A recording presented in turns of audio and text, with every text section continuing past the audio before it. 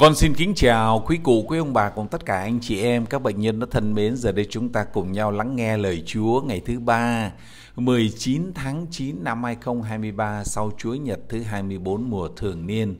Chúng ta cùng sốt sắng lắng nghe tin mừng.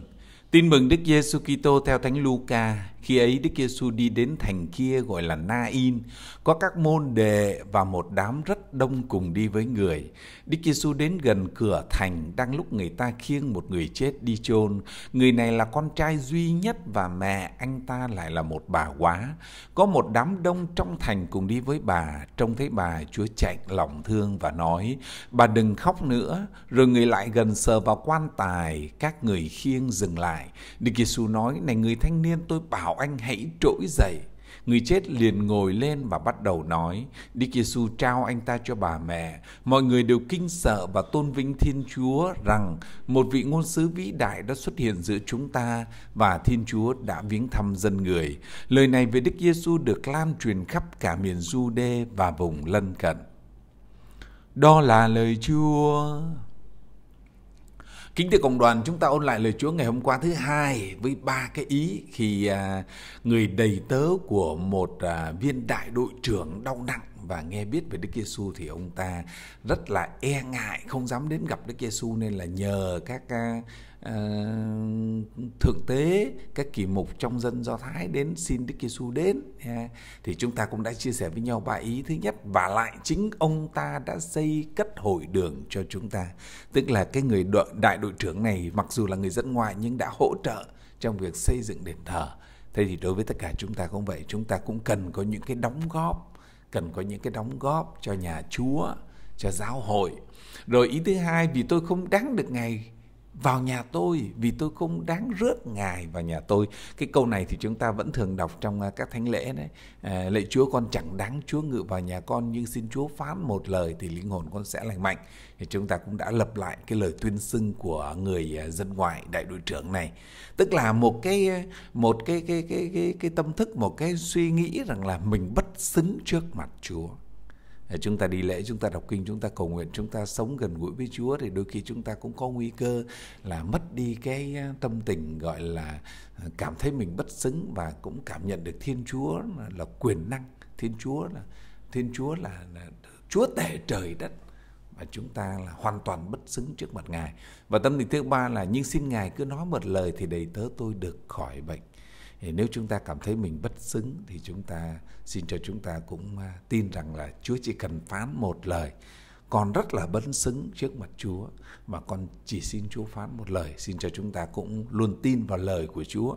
Hàng ngày chúng ta đều lắng nghe lời Chúa, xin cho lời Chúa thấm nhập vào trong tâm hồn của chúng ta, để rồi chúng ta thấy quyền năng của lời Chúa. Rồi chúng ta đi vào bài tin mừng ngày hôm nay. Khi ấy Đức Giêsu đi đến thành kia gọi là Na-in có lẽ đây cũng là một cái thành à, dân ngoại thôi. Có các môn đệ và một đám rất đông cùng đi với người. Tức là người ta người ta đám đông dân chúng đi theo Đức Giêsu đó. Thứ nhất là họ thích nghe Chúa Giêsu nói.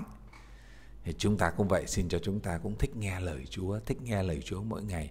Cái thứ hai là họ cũng cậy dựa vào Chúa, xin Chúa chữa lành, xin Chúa trừ quỷ, à, vân vân. À, à, họ đi theo Chúa thì cũng có cũng cũng có những người là vì yêu mến Chúa cũng có những người là thích nghe lời Chúa cũng có những người là muốn được Chúa chữa lành. Một đám rất đông cùng đi theo Chúa. Đức Giêsu đến gần cửa thành đang lúc người ta khiêng một người chết đi chôn người này là con trai duy nhất và mẹ anh ta lại là một bà quá. Cái hoàn cảnh này cũng rất là đáng thương nhé. Bà quá tức là người chồng đã mất rồi.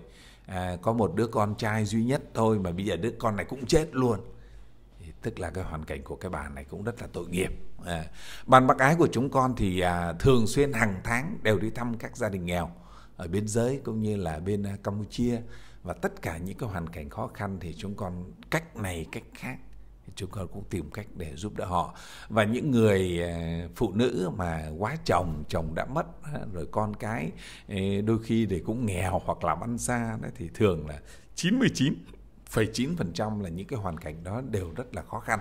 À, thế thì trong bài tin mừng này chúng ta cũng thấy là bà là bà quá có một đứa con trai bây giờ chồng đã mất bây giờ đứa con trai cũng mất luôn thì hoàn cảnh này cũng rất là rất là rất là đáng thương à, à, có một đám đông trong thành cùng đi với bà à, cái điều này cho thấy rằng là bà này cũng được mọi người quý mến và cũng à, được nhiều người chạy lòng thương về hoàn cảnh của mình.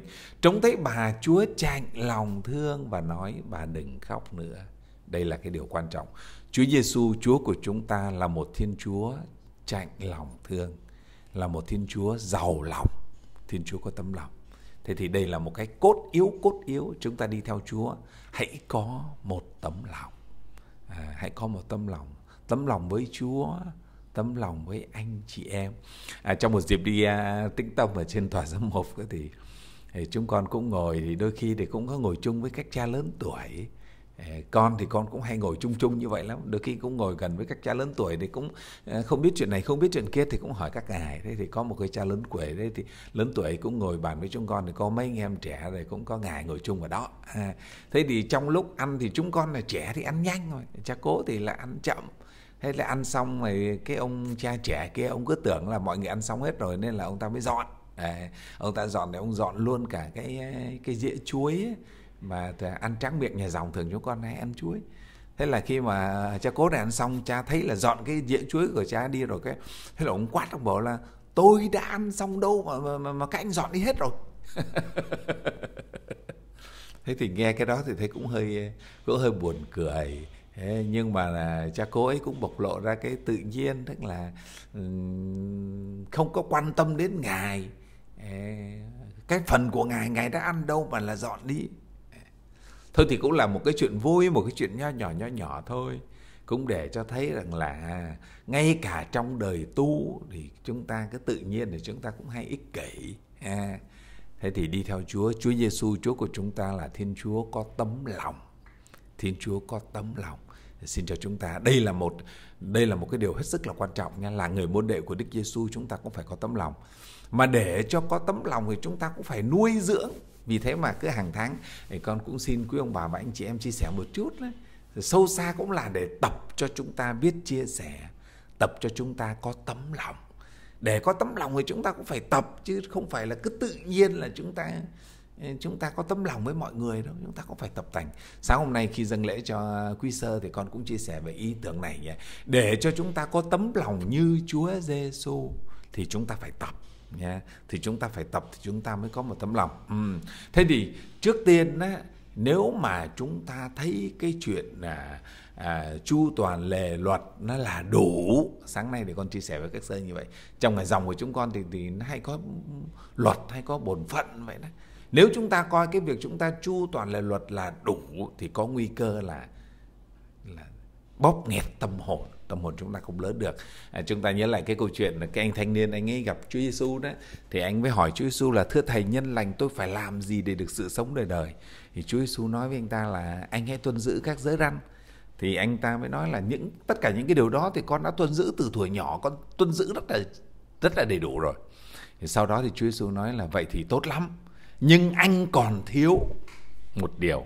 Hãy bán tất cả những gì anh có cho người nghèo rồi anh đi theo tôi anh sẽ có một kho tàng ở trên trời. Thế thì nghe cái điều đó thì anh ta anh ta là những người chu toàn lề luật, nhưng mà anh ta chưa có tấm lòng. À thế thì trong cuộc sống hàng ngày của chúng ta thì nhiều người cũng nói là thật sự con chẳng có cái tội gì. Con chẳng bao giờ con bỏ lễ ngày chủ nhật. Hàng tháng thì con cũng có một tí để chia sẻ cho người nghèo. Và con cũng chẳng làm mất lòng ai mà con cũng cũng chẳng có gây thiếu nợ ai hay là cái gì cả con cảm thấy là con chẳng có tội gì. Thế thì kính thưa cộng đoàn, nếu chúng ta cứ nghĩ là đi lễ, rồi đọc kinh, rồi cầu nguyện là đủ là tốt rồi, thì chưa phải. Đi lễ đọc kinh cầu nguyện thì đấy mới chỉ là chu toàn bổn lề luật thôi mà chúng ta còn thiếu một điều nữa là chúng ta còn phải thể hiện được tấm lòng của chúng ta, bán tất cả những gì chúng ta có cho người nghèo. Thế thì thường thì trong giáo xứ thì cũng có một số người hay nói, cảm thấy là mình có đi lễ, mình chẳng bỏ lễ rồi mình cũng chẳng từ trừ tục trì thề, mình cũng chẳng có bia rượu gì cả. Thì xem ra mình là người tốt rồi. Chưa phải. Nếu anh chưa dám bán tất cả của cải đi cho người nghèo thì anh chưa phải là người tốt. À thế thì đấy là ý thứ nhất sáng nay con chia sẻ với quý sơn đó. Nếu chúng ta coi cái việc chu toàn cái luật đó là đủ thì chúng ta đang đang đang bóp nghẹt tâm hồn. Chúng ta chưa có tập cho cái tâm hồn chúng ta không nếu chúng ta chu toàn được những cái việc bổn phận những cái lề luật thì đấy mới chỉ là một phần thôi. À, chúng ta còn thiếu thiếu cái còn lại là chúng ta có khả năng cho đi tất cả nữa à, đây là ý thứ nhất nhé chu toàn lệ luật chưa phải là đủ mà còn phải phải tập cho đi nữa cơ. À, rồi cái ý thứ hai chúng ta cần phải cần phải có cần phải biết đóng góp vào vào cái chung chúng ta cần phải biết đóng góp vào cái chung. Ví dụ như là trong gia đình của chúng ta ờ, là cha là mẹ chúng ta phải lo kinh tế cho gia đình cái chuyện đó là đương nhiên. Nhưng mà như vậy là chưa đủ. Chúng ta không chỉ lo kinh tế cho gia đình mà chúng ta còn phải đóng góp vào những cái ích chung của xã hội. À, còn phải chia sẻ cho những người nghèo hơn chúng ta nữa. Đó là ý thứ hai con muốn chia sẻ. À, đó là để cho chúng ta có một tâm hồn quảng đại thì chúng ta cần phải biết góp vào cái ích chung cần phải góp vào những cái ích chung cái gì là chung thì, thì chúng ta cần phải đóng góp vào nhé. Và cái ý thứ ba là để cho chúng ta có tấm lòng thì chúng ta phải thấm nhuần thấm nhuần tình yêu của Đức Giêsu thấm nhuần chúng ta phải để cho lời Chúa Giêsu thấm vào trong lòng của chúng ta để cho tình yêu của Chúa Giêsu thấm vào trong lòng của chúng ta. Có như thế thì tâm chúng ta mới là một người giàu lòng giàu lòng trong bài tin mừng ngày hôm nay, cái chính đó là Đức Giêsu giàu lòng. Nên là thấy những người nghèo khổ là ngài tự nhiên ngài chạy lòng thương. Ở trên à, cái vụ mà cháy à, cái cái cái khách sạn à, cháy cái chung cư mini ở ngoài Hà Nội đấy, thì có một cái anh shipper đấy, khi anh đi đến thì anh thấy là cháy như vậy thì là anh lao vào. Anh ta cứu người ta. Thế người ta mới hỏi là, trời ơi, sao anh làm cái điều mà tuyệt vời quá như vậy? Anh ta cũng cười, anh ta bảo là, thì thấy người ta khó thì cứu thôi cái điều này cho thấy là phải là một người có tấm lòng. Khi một người có tấm lòng thì gặp sự khó là người ta bộc lộ ra. Chứ còn mình không có tấm lòng thì người ta có chết trước mắt chúng ta cũng chả làm gì. Thế thì ờ, Chúa Giêsu thấy cái người đàn bà này hoàn cảnh không phải vì hoàn cảnh người ta mà Chúa chạy lòng thương cho bằng là Chúa là người có cái tấm lòng. Nên là gặp những cái khó khăn là ngày bộc lộ ra. Kính thưa quý ông bà và anh chị em, cuối tháng này là trung thu nghe cuối tháng này tháng này là trung thu nếu có thể được. Thì à, xin à, quý ông bà và anh chị em mỗi người góp một chút nhé, để con mua bánh cho các em thiếu nhi nghèo. Cách riêng là các em thiếu nhi nghèo bên Campuchia. Ở bên đó thì quý sơ xin con là 500 bánh cho 500 em thiếu nhi. Đấy là chỉ là thiếu nhi ở trong nhà thờ thôi nhé. Chưa kể là các em thiếu nhi à, ngoài đầu đường xó chợ nữa, thì con cũng chưa biết là xin được bao nhiêu nữa. Nhưng mà thôi thì chúng ta có thể chia sẻ được bao nhiêu thì chúng ta cứ chia sẻ. Rồi nếu có nhiều thì chúng ta mua nhiều. Đấy, còn nếu ít thì thôi thì chúng ta cũng chấp nhận là cái ít thôi à. Chúa Giêsu thấy cái người đàn bà này đó vì Chúa là người có tấm lòng nên là Chúa thấy người ta là Chúa chạnh lòng thương thôi chứ còn bây giờ người ta cực kỳ khó khăn mà mình không có tấm lòng thì mình chạy chạnh lòng thương à. thế thì Chúa Giêsu chạnh lòng thương và nói bà là bà đừng khóc nữa rồi người lại gần sờ vào quan tài các người khiêng dừng lại. Đức giêsu nói này người thanh niên tôi bảo anh hãy trỗi dậy. Người chết liền ngồi lên và bắt đầu nói đức giêsu trao anh cho bà mẹ. Chúa giêsu chạy lòng thương là ngày bắt tay vào việc. Chứ không phải chạy lòng thương để cứ ngồi để mà khóc. Không phải. Chạy lòng thương là phải thi hành cụ thể bằng cách là Chúa Giêsu đã làm cho cái cái cái cái, cái anh thanh niên này được sống lại thì chúng ta có thể lấy một cái ví dụ như là bây giờ một cái người đau bệnh thế thì bây giờ mình làm cho người ta hết bệnh chúng ta cũng phải tốn kém lắm. Chúng ta cũng phải tốn kém thời gian tốn kém tiền bạc lắm. Thế thì làm cho một người chết sống lại thì cũng phải rất là tốn kém. Mà phải là người có tấm lòng thì mới có thể là dám cho đi để cho người chết sống lại. Đức Giêsu trao anh ta cho bà mẹ, mọi người đều kinh sợ và tôn vinh Thiên Chúa rằng một vị ngôn sứ vĩ đại đã xuất hiện giữa chúng ta một người ngôn sứ vĩ đại trước tiên là người có tấm lòng à, và cái thứ hai là từ thiên chúa nên là ngài có quyền năng có tấm lòng và có quyền năng à, lời này về đức giêsu à, một vị ngôn sứ vĩ đại đã xuất hiện giữa chúng ta và Thiên Chúa đã viếng thăm dân người. Lời này về Đức Giêsu được loan truyền khắp cả miền Jude và vùng lân cận. Thế thì kính thưa quý ông bà và anh chị em, tóm lại lời Chúa ngày hôm nay, Đức Giêsu thấy một người à, à, bà quá có đứa con trai duy nhất mà nó cũng chết, Chúa chạy lòng thương. Chúa chạy lòng thương là thứ nhất là bởi vì Chúa là người có tấm lòng. À, và cái thứ hai là cái hoàn cảnh của các bà này là khó khăn. Chứ còn cái hoàn cảnh của người ta nó khó khăn mà mình không có tấm lòng thì mình chả chạy lòng thương. Thế thì Chúa là người có có tấm lòng. Thì đây là một cái bài học lớn cho tất cả chúng ta đi theo Chúa. Chúng ta phải tập luyện tập luyện cho chúng ta có tấm lòng. Khi chúng ta có tấm lòng rồi thì tự động cái tấm lòng ấy nó sẽ nó sẽ bộc lộ, nó diễn tả ra cho tất cả mọi người chúng ta gặp gỡ. Không chỉ là người nghèo khó mà bất cứ ai chúng ta gặp gỡ thì chúng ta cũng đều có thể là là chia sẻ với họ. Và con cũng đã chia sẻ với quý ông bà và anh chị em hai cái ý. Thứ nhất là nếu chúng ta trụ toàn lề luật thì chưa đủ không phải cứ đọc kinh đi lễ, không bỏ lễ ngày chúa nhật, không chửi vợ chửi con. Thế là tốt, không phải. Chúng ta còn thiếu. Chu toàn lề luật, chu toàn bổn phận không? Vẫn còn thiếu nha cái phần thiếu còn lại là là phải diễn tả, phải bộc lộ, phải thực thi được cái lòng bác ái nữa kìa. Cái thứ hai là chúng ta còn phải là những người có trách nhiệm với cái chung. Còn là người có trách nhiệm với cái chung và cái thứ ba là phải là một người thấm đẫm tình yêu của Chúa Giêsu, thấm đẫm lời của Chúa Giêsu. Thế thì tóm tắt lời Chúa ngày hôm nay chúng ta ghi nhớ hai câu thôi. Câu thứ nhất, Chúa chạnh lòng thương. Xin cho chúng ta cũng phải có tâm lòng, luôn luôn biết chạnh lòng thương với mọi người.